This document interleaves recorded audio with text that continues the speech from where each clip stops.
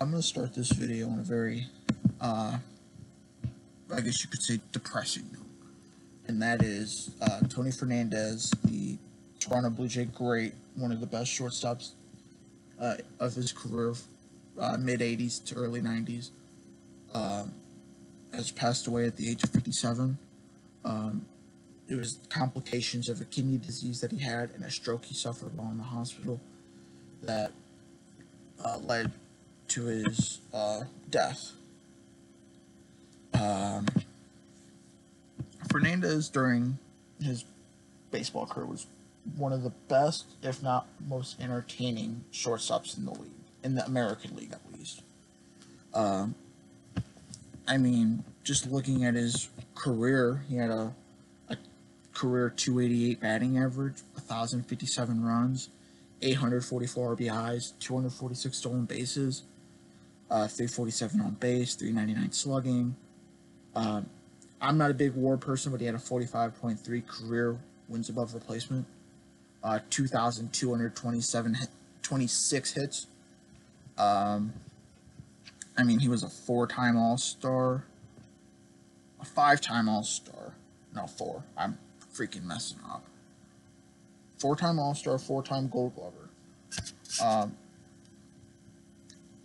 um, and he ultimately helped Toronto win.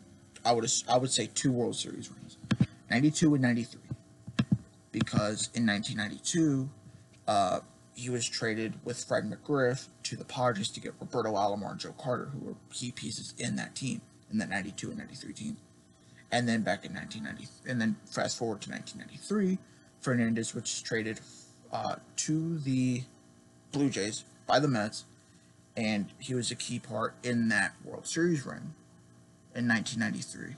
I mean, I believe it was. I don't remember which game it was. Game. It was a home game. I think game five, maybe. Game six.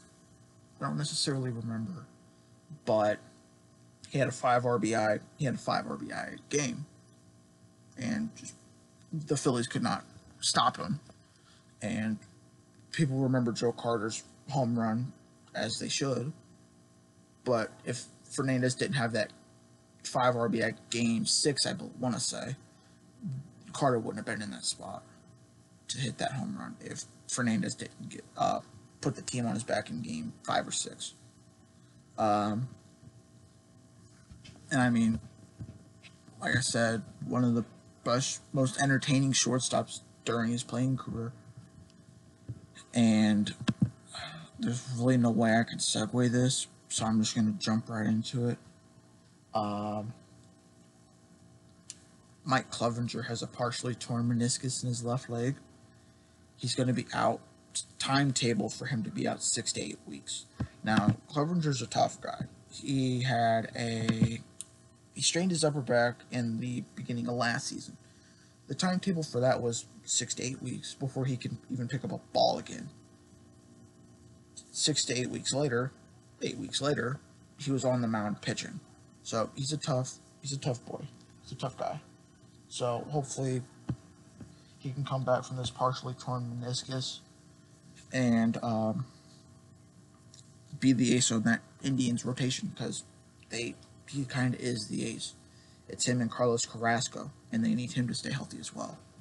And what what I think hurts Clevinger the most is that it's his left knee that has the partially torn meniscus, his plant leg. So that's going to give him some uh, problems. Might not feel comfortable to land on that leg in some moments.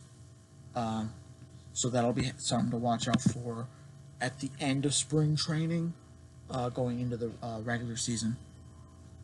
Uh, some trade news, which is very surprising. Uh, the Giants and the Athletics made their first trade since 1990 their first major league trade. They made a minor league trade in I think 2005, but it was a minor league trade. But they've made their first major league trade uh, since 1990, I believe, yesterday. Uh, they traded. Uh, the Giants traded Burch Smith to the A's for cash considerations. It's not a huge trade, but the ramifications of a Giants A's trade is kind of pretty big. And um, Kevin Pillar signs with the Red Sox. He's going to be um, he's gonna kind of be, I guess, the depth guy on that team. He's a great fielder. He had a really breakout year last year. I think almost, uh, almost 30 homers. So he's putting the offensive side of the ball into his repertoire now. He's becoming better and better on the offensive side, which is good for him. Um, but yeah, I I don't mind Pillar being signed by the Red Sox. I think it's a good, safe move, and um, let's see how he does in the Red Sox uniform. Um, so that's the end of the video. If you guys liked it, press the like button. Subscribe down below. That would be greatly appreciated. Let me know about any of these moves. Uh, what you guys think about them, uh, or anything. Um, share this video with all your friends and buddies. And I will see you guys in the next episode.